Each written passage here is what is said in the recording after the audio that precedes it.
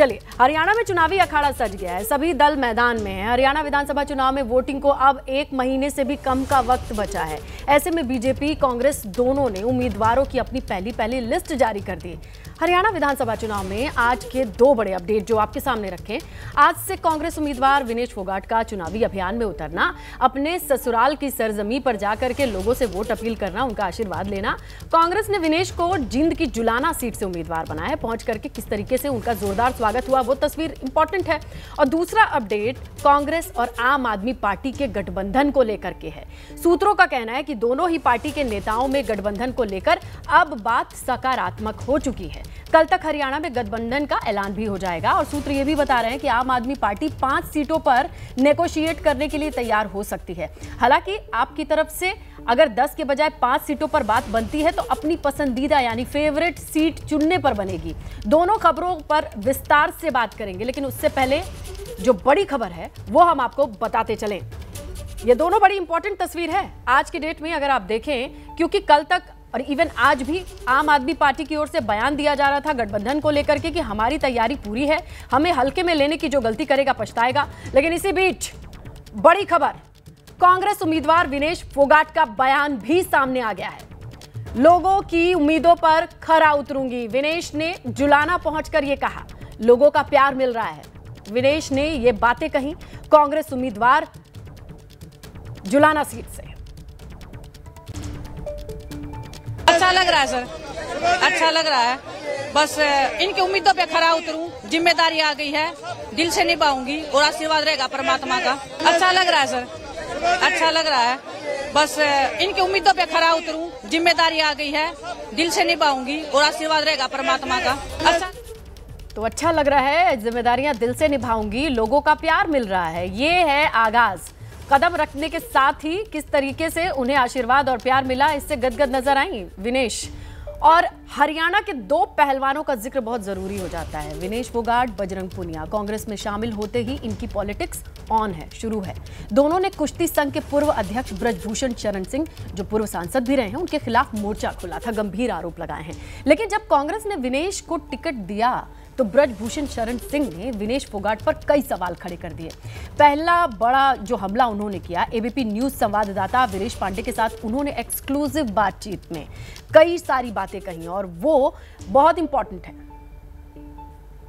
भूषण शरण सिंह हमारे साथ हैं। ब्रिजभूषण जी विनेश फोगट और बजरंग पुनिया कांग्रेस में शामिल हो गए। जी कल देखा मैंने टीवी पर और कांग्रेस में अच्छा स्वागत उनका हो रहा है।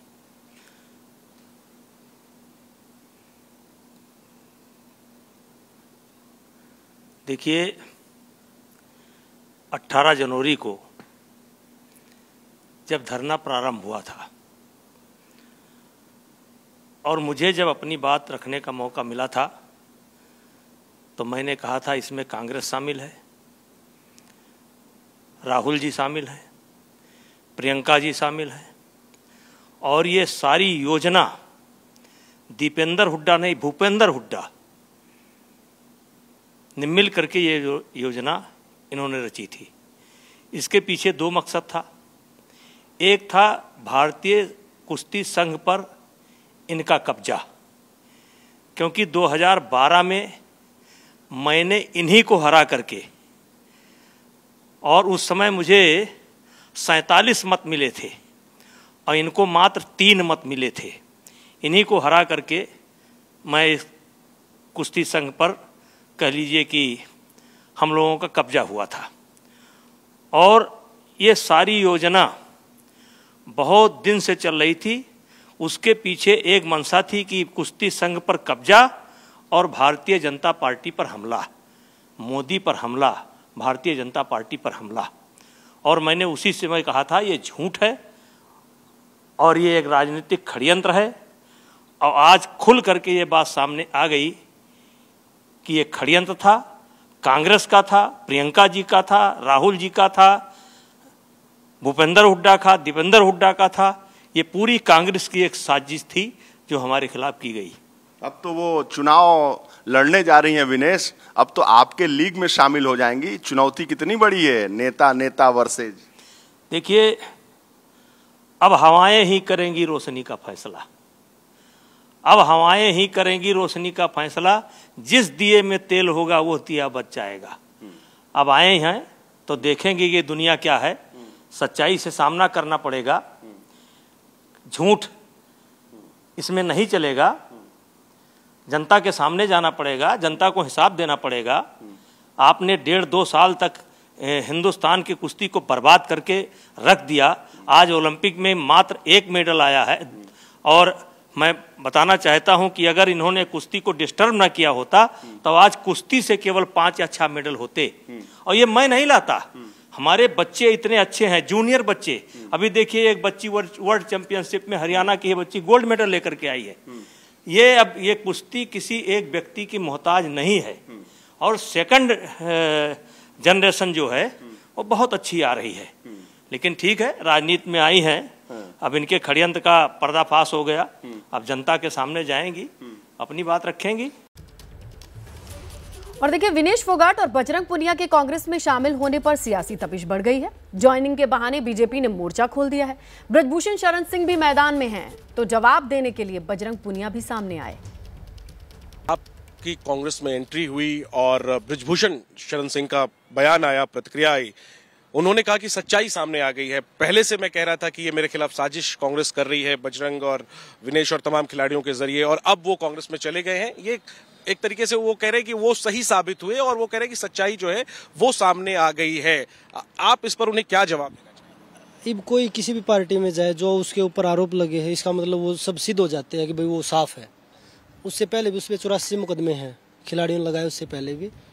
तो वो क्या साफ़ सभी के थे? दूसरी चीज़ मुझे लगता है कि मीडिया ने ही उनको स्टार बना रखा है बार बार में उसका नाम लेके कि भाई ब्रजभूषण जी ये बोल रहे हैं, ब्रजभूषण जी वो बोल रहे हैं। जिस आदमी ने महिला खिलाड़ियों के साथ सेक्सुअल हरासमेंट की है, वो टीवी मीडिया पे बोल रहा है पूरे देश के सामने कि हाँ मैंने एक लड़की को गले लगाया उसने ऐसा महसूस किया। तो आप इसको क्या मान रहे सबूत नहीं, एक एक एक चीज़ मैं पूछ रहा हूँ, सबूत नहीं है ये। जो आदमी अपने मुँह से बोल रहा है कि एक लड़की को गले लगाया उसने ऐसा महसूस किया। इससे बड़ा और सबूत क्या चाहिए? यही तो वो कह रहे हैं। वो सियासत में है। जब उन पर आरोप लगे और किसी पर भी आरोप लगते हैं वो आरोपों को झुटलाता है।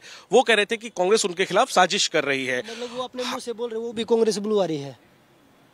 जो उसने अपने मुँह से बोला वो कांग्रेस ने बुलवाया था। अब जब आप और विनेश कांग्रेस में शामिल हो गए हैं वो कह रहे हैं देखो शुरू से मैं कह रहा था ये कांग्रेस कर रही थी अब ये दोनों खिलाड़ी कांग्रेस में आ गए। जब जनवरी पिछले साल जनवरी में हम जंतर मंत्र में बैठे थे तो हमने तो एक भी पार्टी को ऊपर नहीं दिया था किसी भी आदमी को चाहे वो कांग्रेस का था उस समय चाहे वो आम आदमी पार्टी का था चाहे बीजेपी का था। बीजेपी के तो हालाँकि आए ही नहीं लेकिन हमने तो एक आदमी को भी नहीं दिया कि भाई हमारा ये राजनीति कोई मुद्दा नहीं है हम एक आदमी के खिलाफ लड़ रहे हैं। हमें इन बेटियों के साथ गलत हुआ उसके लिए उस आदमी को फेडरेशन से दूर होना चाहिए और उसको उसके कर्मों की सज़ा मिलनी चाहिए। सिर्फ़ ये लड़ाई थी। लेकिन वो ज़बरदस्ती बीजेपी ने अपने ऊपर वो लड़ाई लेके पूरी उसको बचाव करने के लिए बीजेपी ने अपने ऊपर लड़ाई लेके पूरे बीजेपी की लड़ाई बना दिया उसको। वही सवाल है कि ये लड़ाई ब्रजभूषण शरण सिंह के खिलाफ थी। अब आप कांग्रेस में आ गए अब आपकी लड़ाई बीजेपी से है। तो ये एक शख्स के खिलाफ लड़ाई और अब एक पार्टी एक सरकार के खिलाफ देखिए वो बीजेपी ने उसी टाइम अपने ऊपर ले ली ना। अगर वो खिलाड़ियों को सपोर्ट करें तो हमने तो लेटर लिखे थे उनके सांसदों को कि भाई आप आइए। कोई भी सांसद आया कोई भी नहीं आया। और जिन ओपोजिशन में जब वो जो लोग थे तो हमने तो उनको बोला था विपक्ष में जो लोग थे उनको तो बोला भी नहीं हमने। और उन लोगों को बोला हमने कि भाई आप आइए। वो आ, बोलने के बाद भी नहीं आए और ये लोग बिना बोले भी हमारे साथ खड़े हुए।